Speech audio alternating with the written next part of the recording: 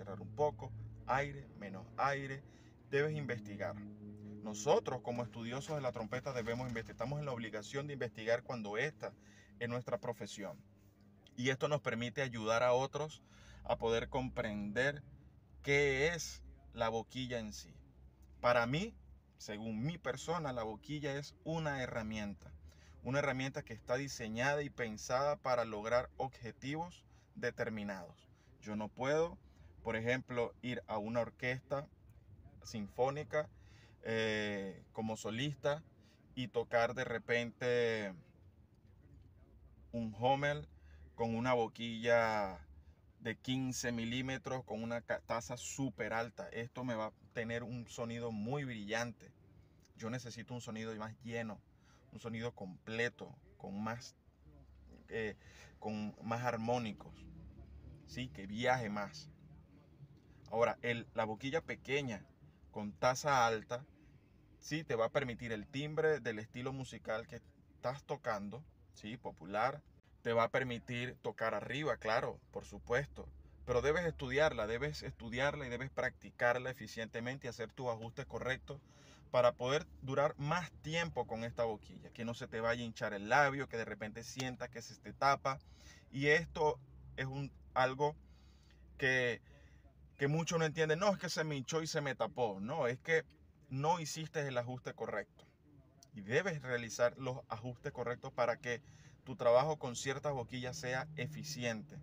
Pero estas boquillas, para mí, lo más importante es que te permiten no hacer tanto esfuerzo para que no te lesiones, no te duela la cabeza, no te duela la espalda, un riñón, una hernia. Para eso, de hecho, yo la uso es por eso y para eso. Por supuesto que me permite ir arriba pero debo estudiarla. No es que yo llego, agarré la boquilla y ya, toco agudo y puedo sentarme en, un, en una primera silla de un Big Bang. No, no puedo. Yo no soy agudista por naturaleza, yo necesito estudiar y practicar y llevar esto a la práctica constante para poder desarrollar los agudos, pero sí me ayudo con herramientas que me permitan facilitar este trabajo. Y aparte de ello, por supuesto, no hacer tanto esfuerzo para no lastimarme. ¿Por qué? Porque me gusta tocar mi trompeta, disfruto tocándola y quiero hacerlo durante muchísimos años si Dios me lo permite.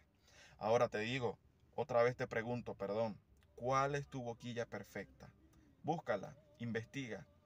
¿Cuál es mi boquilla perfecta? No te dé miedo cambiar de diámetro interno. No te dé miedo más grande, más pequeño. Va a depender de cómo te sientes acá. No necesariamente que son para labios delgados, para labios gruesos. No. Tienes que hacer tu ajuste. Debes estudiar, investigar y probar. ¿Ok? Así que bueno, esto ha sido todo por hoy. Espero que te sirva mucho. Esto es un video totalmente casero. Estoy en mi vehículo en este momento aprovechando el tiempo solo y se me ocurrió hablarte un poco sobre este tema de las boquillas. Hay muchas boquillas, muchas medidas, muchas marcas. Busca la correcta, ¿sí? La correcta. Hablando de su nomenclatura, busca la correcta. Y hablando de marcas, pues escoge la que más te guste, la que te sienta, la que visualmente te, te agrade. Y nada, a disfrutar. Debes disfrutar de hacer música, interpretar música y tocar tu trompeta. Cuídate mucho y nos vemos en un próximo video. Bendiciones.